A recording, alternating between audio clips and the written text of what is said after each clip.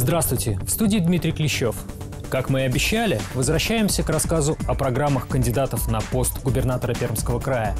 Сегодня расскажем об основных тезисах программы кандидата от Коммунистической партии Российской Федерации Ирины Филатовой. Но прежде чем мы перейдем к разбору программы, хотелось бы остановиться вот на каком моменте.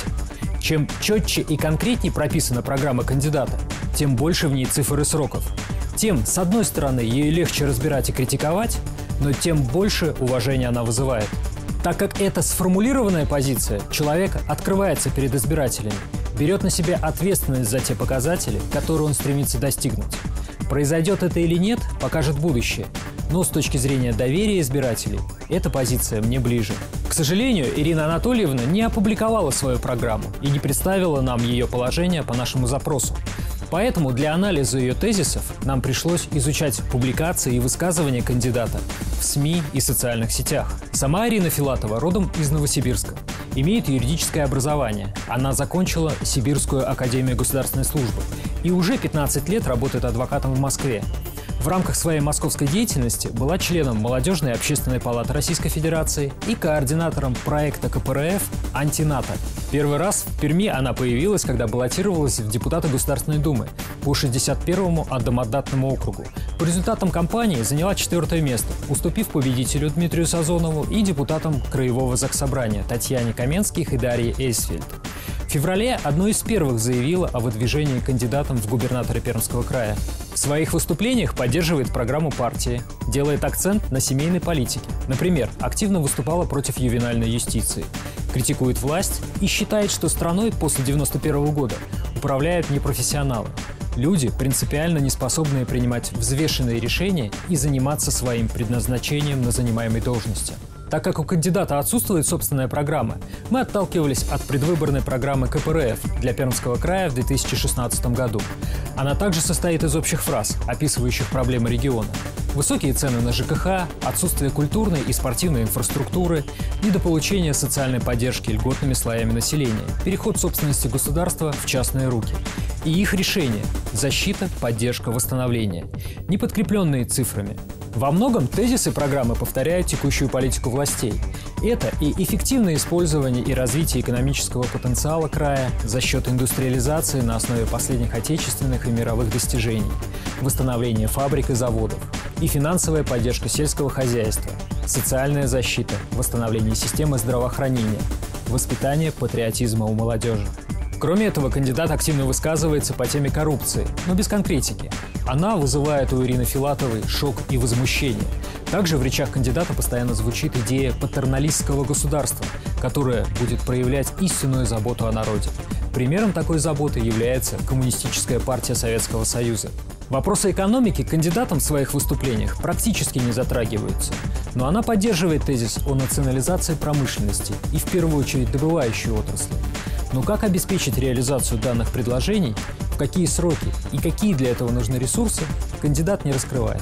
Поэтому предполагается, что поддержка Ирины Филатовой – это в первую очередь поддержка образа женщины, молодой матери, выступающей за социальную справедливость, так как она ее понимает, и нужно верить в то, что это получится реализовать.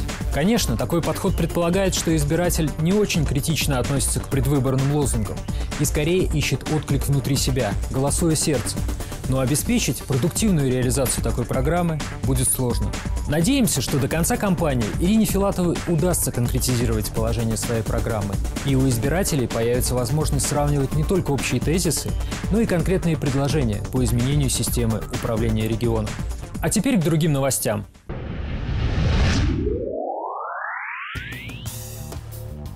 Подведены итоги деятельности администрации Перми за первое полугодие. Были определены лидеры и аутсайдеры по результатам работы. Традиционно все функциональные и территориальные подразделения администрации Перми оцениваются по нескольким показателям. Среди них финансовый менеджмент, исполнительская дисциплина, репутационная оценка, реализация проектов, содержание территории. По итогам полугодия в передовиках оказались Департамент финансов, районов, Департамент градостроительства и архитектуры, Департамент общественной безопасности. В списке отстающих значится Департамент земельных отношений и управления по экологии и природопользованию. У этих подразделений низкий уровень финансового менеджмента и исполнительской дисциплины, а управление по экологии еще и низкая репутационная оценка. Среди районов наиболее отличился Мотовилихинский, который значительно улучшил свои показатели по сравнению с аналогичным периодом прошлого года и поднялся с предпоследнего места на первое. В то же время значительно ухудшились показатели Свердловского района, который опустился со второго на предпоследнее место. Замыкает список, как и в прошлом году, поселок Новые Лиды.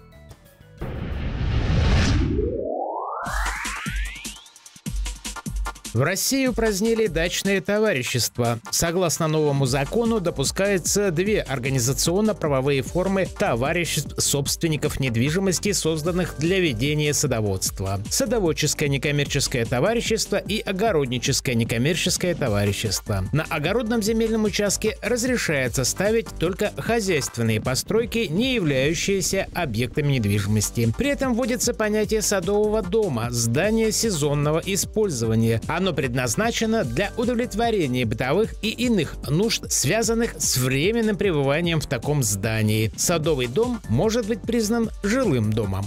Сразу скажу, что, возможно, это интересует больше всего наших граждан, то, что на садоводческих возможно возведение жилых помещений, а на огородческих это невозможно. Согласно документу, в садоводческом или огородническом некоммерческом товариществе должны состоять не менее семи человек. Закон также определяет критерии и порядок принятия в члены товарищества, их права и обязанности. Кроме того, вводятся общие принципы расчета членских взносов и цели, на которые могут быть потрачены собранные деньги. Федеральный закон вступит в силу с 1 января 2019 года. В сообщении на сайте Кремля отмечается, что реорганизация организация ранее созданных объединений дачников не требуется. Отметим, что всего в крае по состоянию на 2016 год насчитывалось 282 тысячи садоводов, 1800 садоводческих объединений, использующих 34 тысяч гектар земли. Для огородничества в Прикамье используется 6,5 тысяч гектаров земли.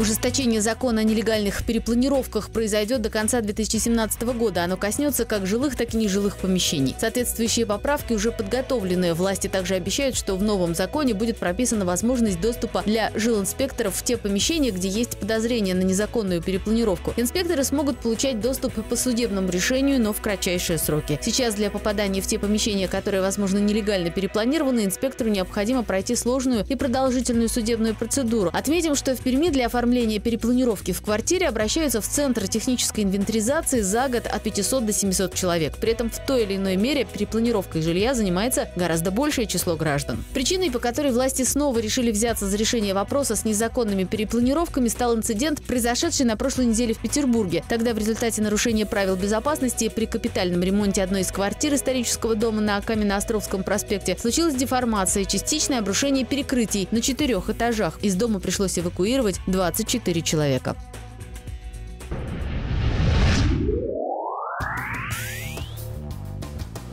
Стоимость квартиры зависит от многих факторов, в том числе и от видов, которые открываются из окна. Так, цены на жилье с видом на Каму в среднем на треть дороже других, сообщают аналитики портала по выбору недвижимости номер один ру. Средняя стоимость квартиры на столичном рынке с видом на Каму из окна составляет примерно 3 миллиона 300 тысяч рублей, в то время как цена обычной – 2,5 миллиона. Аналогичная ситуация наблюдается и в других городах страны. Цены на квартиры в элитных домах с живописным видом на город стоят заметно дороже. В Перми, например, владельцы четырехкомнатной квартиры в центре города города с видом на Каму предлагают купить объект недвижимости за 12,5 миллионов рублей. Как говорится, надбавка для эстетов.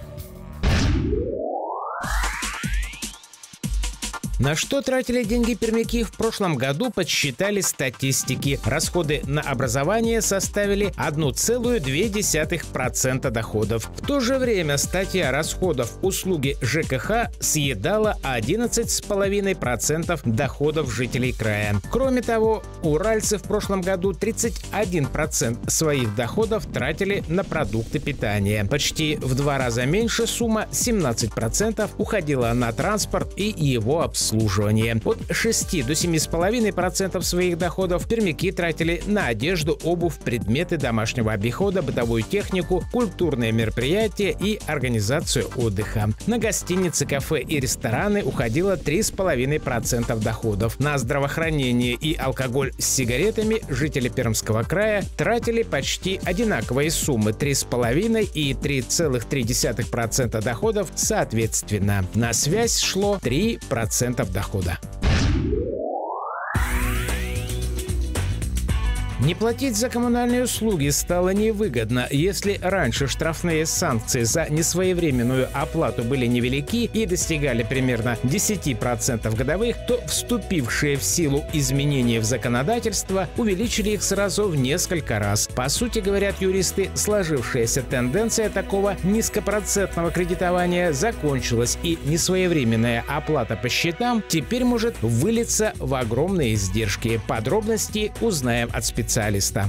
Кроме того, лицо, которое не своевременно оплачивает коммунальные услуги, ну, рискует получить, помимо вот этих штрафных санкций, ну, необходимость заплатить госпошлину. При обращении в суд она уплачивается, да, ну и понести судебные издержки, связанные с представлением интересов в суде, там, управляющей организации или товарища собственников жилья. Сколько россияне, а стало быть и пермяки, смогут прожить без зарплаты. Сбережений им хватит более чем на год, а точнее в среднем на 14 месяцев. Это показало исследование финансового университета при правительстве Российской Федерации. Согласно полученным данным, сегодня в России чуть менее половины взрослого населения тратят все доходы, которые они получают. Доля регулярных сберегателей составляет четверть от общего числа опрошенных. Еще 27% россиян откладывают деньги от случая к случаю. При этом в 2017 году увеличилось число тех, кто откладывал деньги на различные нужды. Основными целями сбережений в российских семьях являются страхование на случай непредвиденных обстоятельств, болезни или аварий, поддержка детей, путешествия, а также приобретение и ремонт недвижимости. По мнению экспертов, размер накоплений, которыми располагают россияне, остается в целом незначительным. Их объем обеспечивает существование семьи в среднем в течение 14 месяцев, если она останется без средств к существованию. Правда, еще год назад этот срок составлял чуть более года. Дольше всего 20-17 месяцев на свои накопления могут прожить семьи во Владивостоке, Комсомольске-на-Амуре, Москве, Новокузнецке, Хабаровске, Нижнем Новгороде, Оренбурге, Красноярске, Уфе и Липецке. Пермь заняла в этом списке 23 место. На этом у меня все. С вами был Дмитрий Клещев. Всего вам доброго.